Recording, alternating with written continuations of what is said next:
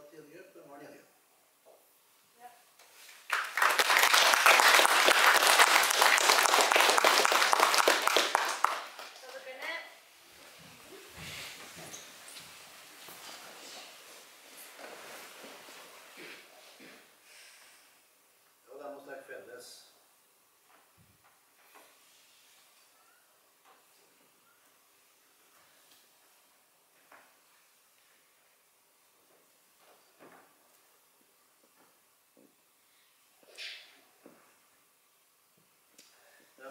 nå, nå er det sånn at jeg trekker opp én og én.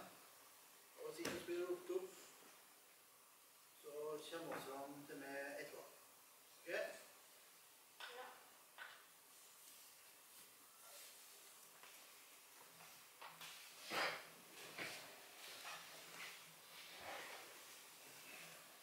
Ja.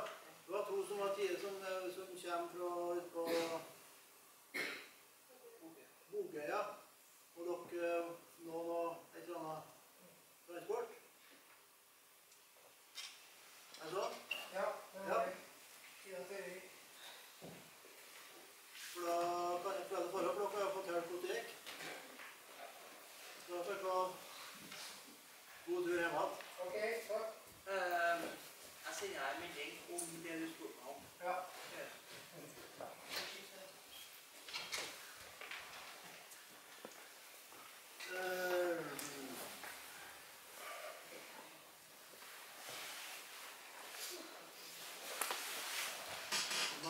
plata. Jeg må se litt ekstra på den andre, for det er et navn som vi kjenner.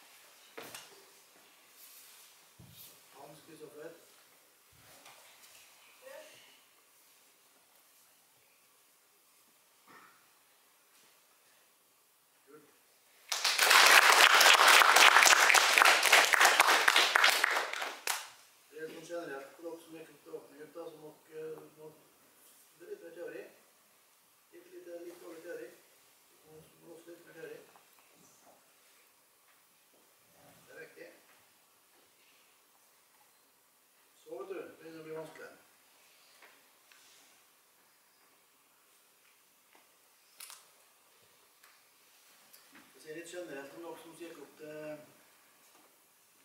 prøve til gikk opp til 7. grupp. Først dere som har fått grupp. Når vi går mønster, så skal det ikke høres ut som en elefant. Men det skal høres ut som en, en kattedyr, tiger eller noe sånt.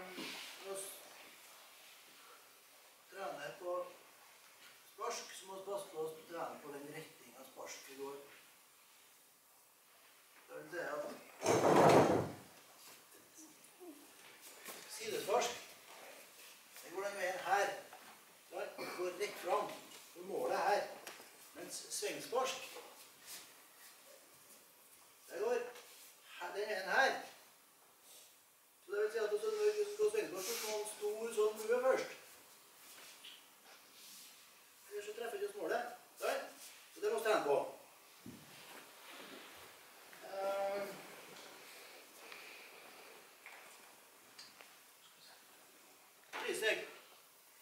Da skal vi ha gang triseggsparing med, med motstander nå. Da er det riktig. Hvis jeg skal ha triseggsparing mot Dennis nå Her. Du skal ikke blokkere. Da gir vi mot den. Nå går jeg med punch. Du ikke blokkere. Så slår du langt utover målet. Og så sekt på motstanderen. Ikke i ansiktet, men her. For det er ikke så farlig å treffe i brystet. Så du ikke sekt for annen. Her, du slår her, du slår her. Nå sekt her. Eller er det ikke vits. Er det? Og så treffer motstanderen. For at hvis det er Nå skal dere Hvis det er slår Det hvis du trekker punch på meg, da. Det her. Men når du slår punch uti her, motstanderen min, så trenger ikke jeg å gjøre korrekt flokk. Det kan gjøre feil. Hæ? Ser bra ut der. Noe da. Hvis du gjør det korrekt, hvis du her, så gjør det samme. Oi. Bommer jo. Der. Og så er du nødt til å slå, gjøre angrepet korrekt, for at blokka skal bli korrekt. Og det er det som er vitsen. Hvis ikke blokker er korrekt, så blir vi straffet. Skjønner? Ja. Da må du gjøre angrepet korrekt. Det er faktisk samtlige oppå. Og små på motstanderen, ja. Ikke lufta. Eh, ja, det var det viktigste. Dere må lukte for teori. Enkelt å være ålreit. Enkelt å ha med teori.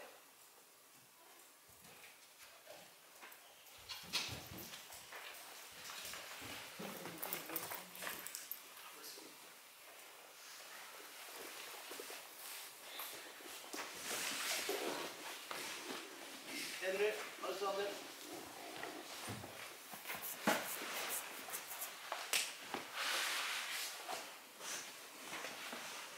Hvorfor skal jeg gjøre eh, grønn. Hvorfor skal jeg gjøre grønn skrift?